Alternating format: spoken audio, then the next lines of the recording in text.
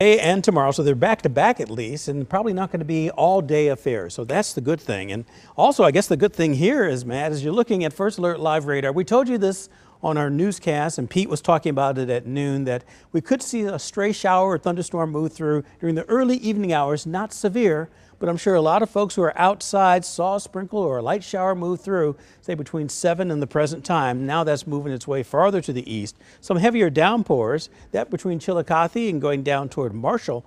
Otherwise, as you look over the Kansas side, we're starting to see a little bit of a break for the time being before it picks up once again. We do have severe thunderstorm watch boxes that are out to the west. One specifically is out from Nebraska. Here's Kansas City. There's one that also includes, say, Atchison County on the Kansas side, as well as Jefferson County and points to the west of that. And that one stays in effect until 11 o'clock. But if you look very carefully, there are a few severe thunderstorm warnings. Those are the yellow boxes that you see here. Very few of them. That's good news, but still thinking the number one thing we have to worry about will be gusty winds up to 60 or 70 miles per hour with some of the cells if they get that strong. Otherwise, it's going to be torrential rainfall, so flooding could be an issue, ponding on the roads after midnight or so. So between now and about 2 or 3 in the morning, we're going to continue to watch and monitor these as they move closer to Kansas City.